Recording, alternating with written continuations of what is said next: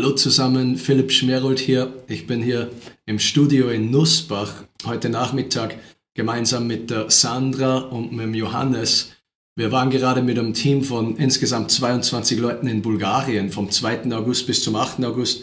Wir haben viele, viele Wunder erlebt dort, wie äh, mindestens 500 Menschen zum Glauben gekommen sind. Wir haben erlebt, wie äh, Leute geheilt worden sind und das bezeugt haben von Stummheit, von Blindheit, von Taubheit, Knochenbrüche sind geheilt worden, Tumore sind verschwunden, viele außergewöhnliche Zeichen und Wunder sind passiert. Es war eine ganz spezielle Sache, da einfach als Team dort zu sein. Wir haben wirklich auch das Volk und die Leute so richtig in unser Herz schließen können. Und wir haben diese äh, Videoaufzeichnung heute, weil wir ein bisschen darüber reden wollten, was Gott einfach getan hat, einfach um dich zu ermutigen, um dich zu inspirieren, es war wirklich ein Einsatz, der geprägt war, auch von Gottes mächtigen Wirken, von seiner übernatürlichen Gunst auch. Aber wir hatten aber auch einfach eine coole Zeit gemeinsam. Wir haben viele Leute getauft auch. Also es war ganz, ganz stark. Ich möchte mich auch bei allen bedanken, die gebetet haben für diesen Einsatz. Aber in diesem Interview oder in diesem Video wollen wir ein bisschen darüber reden, was äh, Gott spezifisch getan hat. Auch am Ende wollen wir für dich beten. Und ich glaube einfach, dass Gott dich da auch mehr noch hineinführen möchte in einen übernatürlichen Lebensstil, in dem wir einfach immer mehr wachsen wollen, alle immer so werden, zu werden wie Jesus. Und das beinhaltet natürlich auch seine Kraft zu demonstrieren, seine Wunder zu demonstrieren. Genau. Aber Johannes und Sandra, lass uns ein bisschen über diesen Einsatz sprechen. Wir hatten eine mega Zeit. Es war ganz stark. Jeder einzelne von uns hat erlebt, wie Gott durch ihn oder durch sie gewirkt hat. Mhm. Es ging wirklich nicht so sehr um eine Person oder so, sondern es ging um die eine Person, Jesus, Aha. und wie er sich manifestiert ja. hat durch uns. Aber Sandra, was waren für dich so ein paar Highlights von diesem Einsatz? Was würdest du sagen? Also eins meiner Highlights war der letzte Abend, weil ich ähm, selbst die Liebe Gottes so stark spüren durfte. Und Gott hat mir so ein bisschen sein Herz offenbart und ich habe sehen dürfen, wie sehr er jeden Einzelnen liebt. Und ich musste stark weinen und bin nach hinten gegangen und dann merkte ich, wie eine Frau mir immer näher kommt, immer näher und näher. Und dann steht sie so einen Meter neben mir und sie fängt auch zu weinen an. Und ich habe nur ihre Hand ergriffen und ich spürte die Kraft Gottes so stark fließen. Und sie hat geweint und geweint und dann ist eine Übersetzerin gekommen. Die hat erzählt, dass, dass Jesus ihr begegnet ist. Und dann habe ich nur gefragt, ähm, ob wir spezifisch beten dürfen für sie. Und sie hat gesagt, sie sieht so schlecht. Und ich habe nur ein kurzes Gebet gesprochen und die Sicht war einfach komplett wiederhergestellt. Wow, den Herrn. Wow. Was hast du da gespürt in dieser Situation, wie du für sie gebetet hast, beziehungsweise war da irgendwie eine spezielle Führung da oder so etwas, oder hast du einfach im Glauben drauf losgebetet? Wie war das so für dich, als Gott dich da gebraucht hat? Also ich habe wirklich in dieser Liebe beten dürfen, in dieser krassen Liebe und ich habe gar nicht viel nachgedacht, sondern ich habe mich wirklich einfach führen lassen und ich habe nicht viel gesprochen, sondern ich habe ganz viel auch in Sprachen gebetet, leise und ich habe einfach gemerkt, dass die Liebe Gottes einfach mhm. fließt. Ja, stark. Auch weil du das sagst von der Liebe Gottes, mir ist gerade so ein Zitat von seinem Erweckungsprediger eingefallen. Der hat mal gesagt, wo große Liebe ist, da sind große Wunder. Und ich glaube, das war auch wirklich bei diesem Einsatz ganz stark da. Auch so die Liebe im Team untereinander, aber auch wirklich die Liebe zum bulgarischen Volk. Und es war einfach die manifeste Liebe Gottes ganz stark da. Und deshalb waren mitunter, glaube ich, auch große Wunder auch Johannes, du hast auch mächtige Dinge erlebt bei diesem mhm. Einsatz, viele Wunderzeichen. Was waren für dich ein paar so äh, ausschlaggebende Ereignisse, beziehungsweise wie hast du Gott so wahrgenommen bei diesem Einsatz? Mhm. Ja, ich würde sagen, wie es für mich einmal gestartet hat, vielleicht erwähne ich das im Vornherein, war, wie wir dort am ersten Abend angekommen sind auf, auf dem Feld in diesem Dorf da und uns bereit gemacht haben, den Leuten zu dienen äh, habe ich eine Sache nochmal so richtig neu realisiert. Und zwar dieses, hey, ich habe hier eigentlich nichts zu geben und ich habe hier nichts zu tun und es gibt nichts, wie ich diesen Leuten hier helfen kann. Ich spreche nicht einmal ihre Sprache, ich kann ihnen nicht einmal irgendwie gut zureden oder so, wenn nicht eine Sache passiert, nämlich wenn Jesus auftaucht. Und das ist eigentlich dann durchwegs passiert. Jeden Tag aufs Neue, jeden Abend aufs Neue haben wir gesehen, wie Gott am Wirken ist, wie er Menschen heilt, wie er Menschen befreit wir Menschen wiederherstellt. Und ähm, ja, ich kann beispielsweise eine konkrete Sache herausgreifen. Wir waren an dem einen Abend in äh, einem der größten Ghettos von ganz Bulgarien. Ist sogar eines der größten ganz Europas, soweit ich weiß. Ich habe das so noch ein bisschen gegoogelt und so. Und da ist ein Mädchen zu mir gebracht worden, die war blind Und zwar, also richtig süßes Mädchen und so. Ähm, und die war nicht nur so, dass man irgendwie nicht bemerkt hätte, dass die blind ist oder so, dass die normal ausgesehen hätte, sondern sie hat über den Augäpfeln hat sie so weiße Häute drüber gewachsen gehabt. Das heißt, man hat nicht einmal die Iris gescheit durchgesehen. Wow. Und also es war völlig offensichtlich, dieses Mädel kann nicht sehen und man hat auf den ersten Blick gesehen, warum. Ja. Dieses Mädchen ist zu mir gebracht worden und ich habe gedacht, okay, was soll ich jetzt machen mit der? Und habe dann einfach begonnen zu beten und ja, einfach über den Kurs von ein paar Minuten immer wieder gebetet und über, via Übersetzung dann gefragt, so, okay, ist da eine Verbesserung eingetreten, kann man schon was bemerken oder noch nicht? Und ähm, so nach und nach hat man dann aber gesehen, über den Kurs von ein paar Minuten, wie diese Häute begonnen haben, durchsichtiger und durchsichtiger zu werden und sich nach und nach aufgelöst haben. Und das war dann echt heftig, weil dann haben wir das ausgetestet, so mit, der, mit den Fingern, wie, wie viele Finger kannst du sehen und so. Und sie hat das mehr oder weniger alles dann eigentlich reproduzieren können. Und ähm, dann haben wir gesehen, wow, okay, Gott ist da echt gerade dran, ein Wunder zu tun. Und äh, in dem Moment ist dann auch der lokale Pastor vorbeigekommen und hat gesagt, hey, ähm, geht's vor die Menge und, und, und zeigt ihnen das wirklich als Ermutigung, hey, schaut, was Gott gerade im Hier und Jetzt dran ist zu tun. Und ja, das war echt eine starke Sache. Ja, stark. Es sind, wie gesagt, viele Wunder passiert auch bei diesem Einsatz glaube, mindestens vier oder fünf Leute insgesamt, die ihre Sehkraft auch wieder ja. zurückbekommen haben, äh, beziehungsweise blind waren. Äh, und es war auch etwas, was du gesagt hast, ganz interessant, äh, dass wir halt wirklich auch so den Eindruck hatten, ganz stark so aus dieser Abhängigkeit mhm. zum Heiligen Geist heraus zu dienen. Ich glaube, das war ganz stark durch den ganzen Einsatz hindurch eigentlich. Auch unsere Erweckungsgebetsmeetings in der Früh waren so kraftvoll jeden einzelnen Morgen, wobei wir eigentlich gar nicht so lange zum Beten gekommen sind, weil wir immer mindestens eine halbe Stunde Zeugnisse hatten vom Vortag und die restliche halbe Stunde oder so haben halt dann gemeinsam gebetet. Aber das ist auch etwas, was ich persönlich sehr stark wahrgenommen habe, dass äh, Gott uns wirklich auch nicht nur jetzt einfach durch irgendwelche Gaben oder so gebraucht hat, sondern es war einfach so wie wenn Gott die ganze Zeit da gewesen wäre. Wir waren abhängig zu ihm und wir konnten aus dieser mhm. Abhängigkeit heraus dienen auch. Und da gibt es so viele individuelle Zeugnisse auch, also diesem äh, Prinzip oder diesem Muster zu folgen von Jesus, wie halt er gelebt hat, nur das zu tun, was er den Vater tun sah, nur das zu sagen, was er den Vater sagen hörte. Und ich glaube, das haben viele vom Team auch ganz stark erlebt bei diesem Einsatz, wirklich persönlich geführt zu werden vom Heiligen Geist, wie man betet.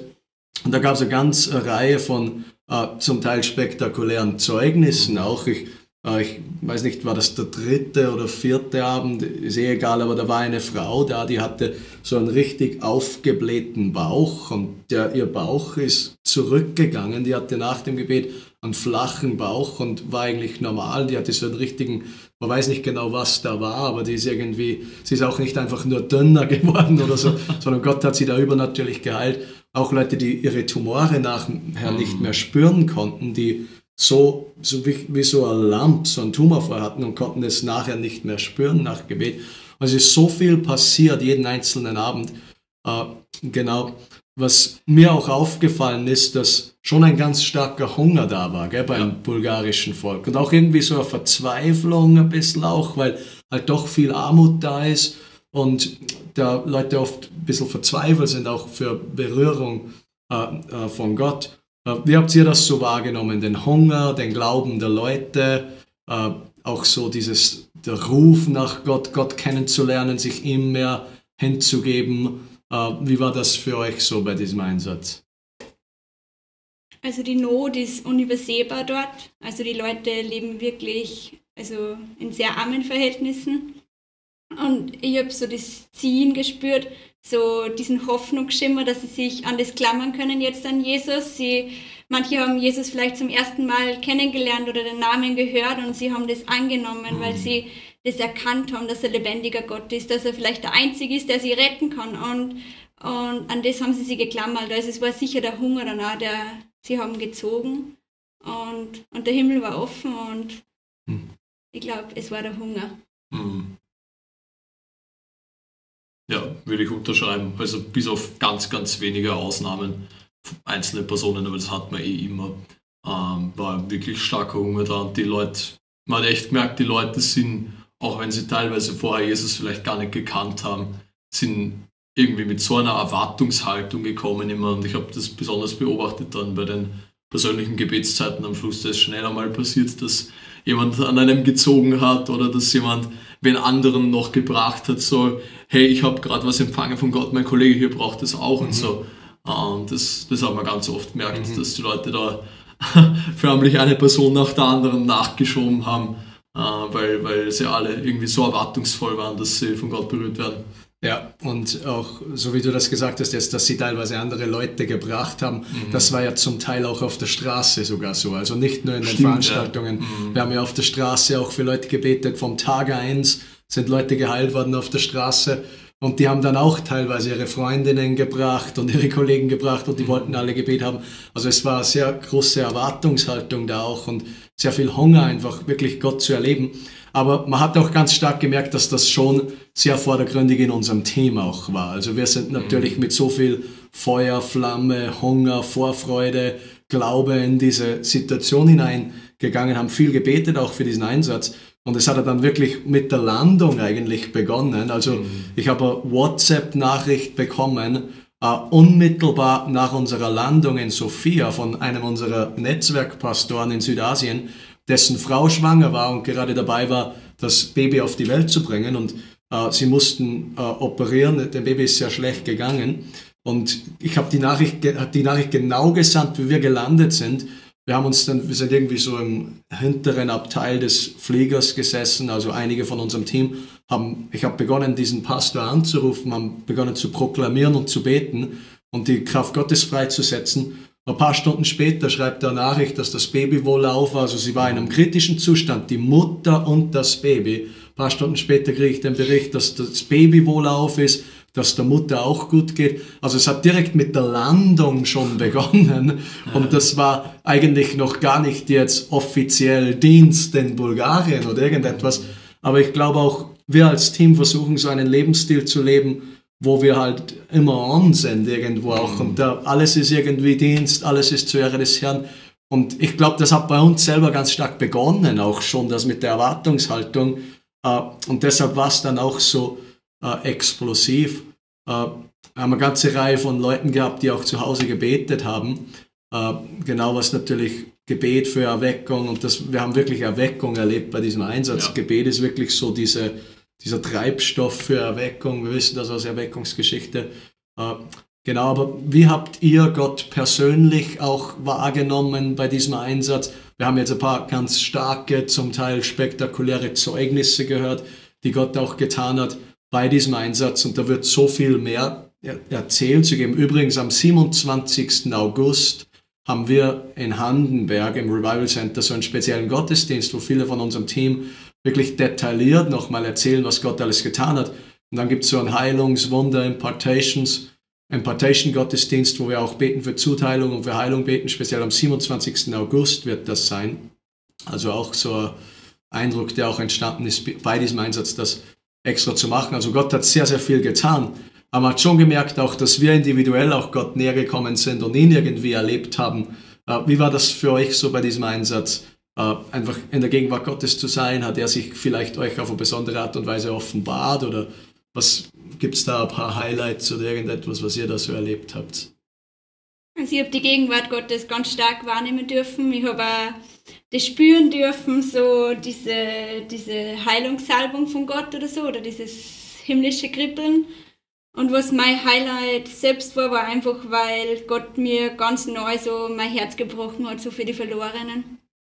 Stark. Wow. Mhm. Also das mit dem Herz für die Verlorenen kann ich absolut unterschreiben. Ich merke, ich bin hier zurück in Österreich wieder einfach mit so einer neuen Perspektive auch dafür wieder hier das Evangelium zu predigen und quasi zu sehen, wie ähm, quasi die Dinge, die in Bulgarien funktioniert haben, die funktionieren ja genauso in unserem Hinterhof, mhm. blöd gesagt. Und das ist definitiv eine Sache und ähm, ich glaube, das Zweite, was, was mir diesbezüglich einfallen würde, ist äh, mein Gebet durchwegs eigentlich während diesem Einsatz jeden Tag aufs Neue, egal wo ich gerade war, egal ob ich im Hotel äh, gerade mich angezogen habe und mich fertig gemacht habe, um rauszugehen oder ähm, ob wir da beim Frühstück gehockt sind oder was auch immer. Mein Gebet durchgehend war eigentlich die ganze Zeit so, Herr, ich möchte wirklich ein Liebhaber deiner Gegenwart sein. Ich möchte ein Liebhaber deiner Gegenwart sein. Wieder und wieder und wieder. Und ich glaube, ähm, das war auch ganz stark, so einfach dieses konstante persönliche verbunden zu sein, äh, zu erleben. Und ich glaube, dass aus dem heraus dann auch äh, ganz viel fließt, äh, was äh, zu tun hat auch mit dem Herz vieler Leute und dann auch tatsächlich mit dem übernatürlichen Wirken Gottes. Ja. Also das war so meine Erfahrung. Ja. Und auch ganz stark untereinander auch, gell, dass oh, Gott ja. wirklich in dieser Community, in der Gemeinschaft ganz stark wahrnehmbar ist, wo einfach so viel Liebe, so viel Glaube da ist, so eine hohe Erwartungshaltung, äh, auch so eine besondere Hingabe. Und ich glaube einfach, dieses Bewusstsein dann auch, dass Gott in uns ist, in jedem Einzelnen wohnt, aber auch in einer Gemeinschaft, die halt ausgerichtet ist und das einfach Vollgas lebt. Ich glaube, da kann man gar nicht aus eigentlich. Da, da ist man automatisch ja weg dann irgendwo auch, mhm. weil man halt irgendwie mitgerissen wird auch. Und das ist etwas, was ich ganz stark gefunden habe, auch, dass wir wirklich so als größeres Team ja. das so gemeinsam erlebt haben und das war voll schön zu sehen. Äh, dieser Einsatz, beziehungsweise auch dieses neue Werk, Revival Center Bulgarien, das ja entstanden ist, auch eigentlich im letzten Jahr, wir waren ja letztes Jahr schon in Bulgarien, haben dort Erweckung erlebt, Erweckung ist ausgebrochen und eine ganze Reihe von starken Connections sind entstanden. Ich hatte dann das Vorrecht, mit verschiedenen Leitern einfach so über den Prozess von einem Jahr oder so Beziehung zu bauen und es war sehr klar, so ein neues apostolisches Zentrum zu etablieren, was dann auch am Sonntag, also so genau genommen beim letzten Einsatz vom äh, äh, letzten Gottesdienst vom Einsatz auch passiert ist.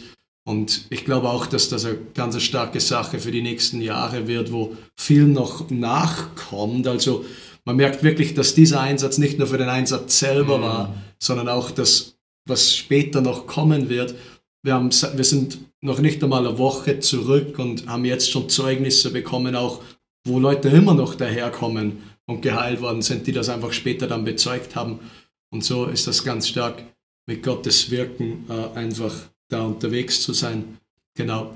Was glaubt ihr sind für euch oder für uns als Team auch ein paar so Schlüssel, dass wir auch nach so einem Einsatz nicht irgendwie Gefahr laufen zu meinen, okay, das war ein Einsatz im Ausland und im Ausland ist irgendwie was anderes und jetzt sind wir wieder zu Hause, jetzt gehen wir wieder zum Alltag zurück. Beziehungsweise, wie glaubt ihr, können wir Erweckung ein bisschen kultivieren als Lebensstil? Was sind da zwei, drei Sachen, Sandra, vielleicht fängst du da an. Was sind zwei, drei so Schlüssel für dich da? Also wirklich das Bewusstsein, dass wir uns des Evangeliums nicht schämen, dass wir uns nicht schämen, es zu verkünden ähm, und Schritt für Schritt mit Jesus zu gehen, wirklich immer offenes Ohr haben, also auch für den Heiligen Geist, für seine leise Stimme, dass wir wirklich ähm, auch schauen, wenn er uns jemanden highlightet, dass wir hingehen. Und wir haben halt das Privileg, dass wir leben dürfen haben, was Gott alles machen kann ähm, das stärkt halt schon auch unseren Glauben. Also, und ich hoffe einfach, dass das jeder mittragen kann zu Hause, dass, dass mhm. Gott derselbe ist. Nicht Stark. nur gestern, heute und alle Zeit, sondern auch hier, wo wir jetzt sind. Amen. Stark. Stark. Und man muss, das, man muss das einfach tun. Ja, Gehorsam auch. Was ich da so raushöre, ist Gehorsam. Ich glaube, Gehorsam, so radikaler Gehorsam ist so ein Riesenschlüssel für Erwecken, Erweckung, erweckten Lebensstil. Und es ist ja wirklich bei uns eigentlich so, wir haben ja das Vorrecht, ich meine, wir erleben in, in Österreich und Deutschland auch pausenlos Wunder. Es ist irgendwie schon so, wie wenn sich das gegenseitig befähigen würde auch. Äh, jetzt haben wir diesen explosiven Einsatz gehabt und Jetzt sind wir wieder zu Hause. Ich meine, wir erleben in der Revival Church auch die ganze Zeit Wunder. Und dann trägt man das, was wir gemeinsam kultivieren, auch in der Gegenwart Gottes, wieder in die Nationen. Dann bringt man das von den Nationen wieder zurück. Yeah. Es passiert irgendwie so viel auf so vielen Ebenen, dass man wirklich, auch so wie du gesagt hast, in all dem äh, wirklich, glaube ich, auch fokussiert bleiben soll auf seine Gegenwart, auf seine Stimme und fokussiert bleiben muss dass einem einfach auch nicht auf einmal das Geschehene irgendwie zu sehr aufbaut. Natürlich, da freuen wir uns, völlig mhm. klar, aber so wie du gesagt hast, die Gegenwart Gottes ist halt unser größter Schatz, ihm zu gehorchen. Und das ist das, was uns am meisten irgendwie Energie geben soll und aufbauen soll. Nicht nur das, was er durch uns getan hat in erster mhm. Linie. Genau. Aber so zu am erweckten Lebensstil, was hilft dir da so, Johannes? Oder was glaubst du, sind da so Keys, so Schlüssel, ein bisschen, um wirklich auch so eine Beständigkeit zu haben, mhm. übernatürlich zu leben im Gehorsam zu leben und einfach wirklich ein Erweckungsträger zu sein? Ja, also ich glaube, es hat eben sehr viel damit zu tun, wirklich seine Gegenwart zu genießen und Gott zu lieben, nicht nur eben für das, was er tut, sondern einfach für das, wer er ist. Und das wiederum hat wieder sehr viel damit zu tun, auch Raum zu machen für ihn, habe ich die Erfahrung gemacht. Also ich glaube, jeder von uns hat da äh, gewissermaßen auch eine Entscheidung zu treffen. Das ist kein ermahnendes Wort, sondern ein ermutigendes Wort. Wir haben das Privileg, wir haben die Chance, wir haben das Recht, jeden Tag vor seinen Thron zu kommen und jeden Tag seine Liebe zu empfangen, jeden Tag seine Gnade zu empfangen, jeden Tag seine Kraft zu empfangen. Und das ist eine Sache, die ja für mich komplett lebensverändernd war. Wirklich das, diese, diese Beziehung mit Gott auf täglicher Basis. Und das wiederum läuft dann zusammen eben mit diesem Gehorsam. Ich, ich möchte es an einem Beispiel verdeutlichen. Ähm, ich war gestern zum Beispiel mit einem Freund auf einem Café und ähm, ich habe dann gemerkt, wie wir gezahlt haben. Ich habe einfach nur so diese kleine Regung in meinem Herzen gespürt, äh, dass ich den Kellner ansprechen soll und ihm einfach nur sagen soll, dass Jesus ihn liebt. Ganz kleine, unspektakuläre Sache, es ist eine Konversation von drei, vier Sätzen daraus entstanden, mehr war es gar nicht. Aber ich habe einfach gemerkt, dass ich diesen Schritt gemacht habe und diesem Impuls danach gegangen bin. Äh, solche Sachen halten das Herz weich. Und ähm, das heißt, wir haben einerseits die Beziehung mit Gott, hinter verschlossenen Türen, nur er und ich. Und andererseits haben wir dann aber auch in der Öffentlichkeit einfach diesen Gehorsam, der unser Herz weich haltet. Und dass wir da ja einfach nie rauskommen aus diesem Lebensstil von ja, Führungen vom Heiligen Geist stark, nachzugehen. Stark, stark. Ja, und mit diesem Lebensstil ist dann wirklich so, dass man eigentlich das Übernatürliche pausenlos nahezu erlebt und jede mhm. Woche. Ich liebe das immer so, wenn wir unsere Team-Meetings haben und einfach Zeugnisse erteilen, da geht es nie darum, nicht einmal darum, was Gott vor zwei, drei Wochen getan hat, sondern immer darum, was Gott in der letzten Woche getan hat. Und es ist so cool, mit dem Herrn so unterwegs zu sein. Genau, das war so ein kurzer Bericht von diesem Einsatz. Auch danke auch nochmal für alle, die dafür gebetet haben. Äh, wie gesagt, am 27.08. ist dieser besondere Gottesdienst auch, äh, wo du dich wirklich auch bewusst verbinden kannst, auch mit dem Wirken Gottes, mit dem, was Gott bei diesem Einsatz getan hat. Aber sind, manche von uns, wir sind wirklich so geführt worden, dass da auch ein spezieller Gottesdienst stattfinden wird. Wie gesagt, am 27.08. um 18 Uhr in der Revival Church in Handenberg. Äh, Details wirst du auf revivalcenter.at sehen, auch alle kommenden Veranstaltungen. Aber Sandra und Johannes, lass uns vielleicht noch für Zuseher beten, auch für diejenigen, die das später anschauen, dass wirklich äh, Erweckungsfeuer auf jedem einzelnen Feld und in ihnen aktiviert wird. Äh, was auch so stark war bei diesem Einsatz, das möchte ich ganz kurz teilen noch. Das ist auch zwei, dreimal hintereinander dann sehr übernatürlich bestätigt worden. So diese ganze Idee, wie so eine Grundidee, dass es nicht um uns geht, sondern dass es einfach um Jesus geht, was er tun mhm. möchte. Und das ist eher alles, was hoffentlich die meisten von uns, das ist eh mhm. was, was die, hoffentlich die meisten von uns halbwegs verstanden haben und versuchen zu verstehen. Aber da war wirklich etwas Übernatürliches drauf, wo dann auch teilweise Manifestationen von seiner Gegenwart ganz stark waren, auch direkt nachdem ich diese Aussagen gemacht habe, dass ja. es nicht um uns geht, wo Gott das immer wieder übernatürlich bestätigt hat, auch dann. Äh, und ich glaube, das ist auch ein ganz wichtiger Schlüssel, einfach sich in ihm zu verlieren, zu verstehen, dass es nicht um uns geht. Und interessanterweise, wenn man sich in ihm verliert und versteht, dass es nicht um uns geht, dann erkennt man aber, wer man wirklich ist und dass mhm. Gott uns schon so wunderbar gemacht hat und dann beginnt man in dem zu laufen, wer uns gemacht hat und mit dem, was er in uns hineingelegt hat. Und lasst uns dafür einfach für die Zuschauer beten, vielleicht auch für diejenigen, die das später noch anschauen, die einfach auch durch diese Berichte und durch, diesen, äh, äh, durch dieses äh, Gespräch auch inspiriert worden sind.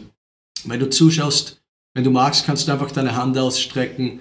Wir werden jetzt einfach beten und verschiedene Deklarationen machen auch und ich danke dir einfach so sehr für jeden Einzelnen, der jetzt zusieht, himmlischer Vater. Wir danken dir, Herr, dass du gut bist, dass dein Arm nicht kurz ist, dass du Geist bist, Herr. Und ich bete jetzt, dass du Leute, die zusehen, äh, bei diesem Video jetzt, dass du sie berührst, dass du kommst mit deiner Kraft, Herr. Halleluja. Ich bete für eine übernatürliche Aktivierung, mehr auch in diesen übernatürlichen Lebensstil hinein, In Jesu mächtigen Namen. Halleluja. Ich spüre gerade die Salbung ganz stark auf meiner linken Hand. Ich weiß nicht genau warum, aber ich glaube, Gott kann jetzt auch Leute heilen, die zuschauen. Wenn du Schmerzen hast in deinem Körper, dann empfang einfach deine Heilung äh, heute Nachmittag oder wann immer du das später anschaust. Wir danken dir, Herr Jesus, für deine Gnade, Herr. Ich bete auch, dass du all das, was wir jetzt geteilt haben, dass das nicht nur normal für uns sein soll oder sein wird, sondern dass es auch für jeden, der zusieht, normal sein wird. Wir danken Jesus, dass Wunder normal sind in Bulgarien, dass Wunder normal sind in Österreich auch, dass Wunder normal sein können in unserem persönlichen Leben. Und ich spreche jetzt einfach Gottes Gunst aus über jeden Einzelnen, der zusieht, Gottes mächtigen Segen, auch Schutz und Bewahrung Aktivierung von verschiedenen Gaben auch, von Kraftgaben, Offenbarungsgaben, Sprachgaben.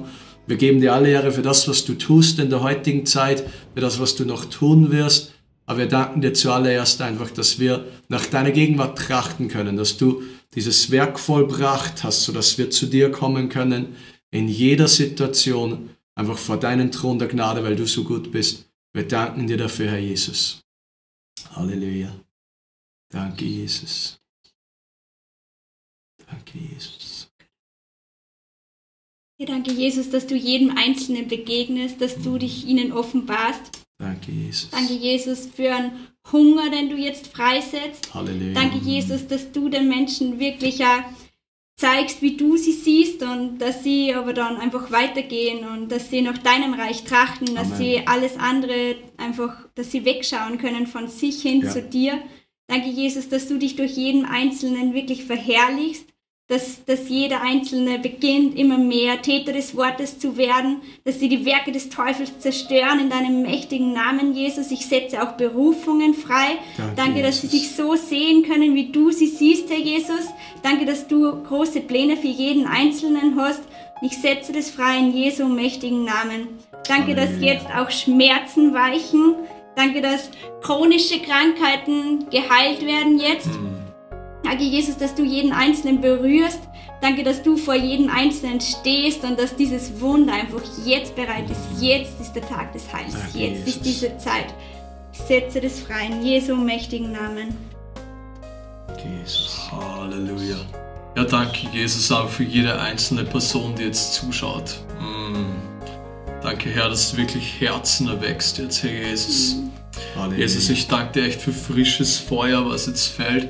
Ich danke dir echt Danke, ja, für. Personen. Ich habe den Eindruck, es sind, es sind Personen hier, die jetzt zuschauen, die das später auch noch sehen werden. Äh, du bist ein bisschen entmutigt in letzter Zeit. So, was wir jetzt auch erzählt haben, das, du kennst das alles irgendwie von früher, aber du merkst, es ist so ein bisschen verloren gegangen entlang des Weges. Und ich bete einfach in Jesu Namen für völlige Wiederherstellung und davon, dass du noch mehr sehen wirst, wenn du jetzt zuschaust, du wirst noch mehr sehen als zuvor. In Jesu Namen, du wirst noch mehr sehen als je zuvor. Halleluja. Das spreche ich aus in Jesu Namen. Und ich danke dir einfach, Jesus, für dieses Privileg, dass wir freien Zugang zu dir haben, freien Zugang Danke, zu Jesus. deiner Gegenwart. Halleluja. Danke, Jesus. Freien Zugang echt zu dieser Liebe des Vaters. Jesus, und so segne ich einfach jede Person, die jetzt zuschaut, in Jesu Namen. Danke, Jesus. Danke, Jesus. Halleluja. Vater, wir danken dir für einfach diesen heutigen Tag, für all die Möglichkeiten, die du vorbereitet hast, auch an diesem Tag. Wir geben dir alle Ehre für das, was du tust, Herr, in unserem Leben, in Jesu mächtigen Namen. Amen. Amen. Hey, danke fürs Zusehen. Gottes Segen euch allen. Äh, Updates für Events auch im Revival Center siehst du immer zeitnah auf revivalcenter.at. Austria for Jesus kommt auch daher. Bitte betet auch für manche unserer Einsätze. Äh, ein Team von uns fliegt nach Mexiko Ende August, äh, erste Septemberwoche.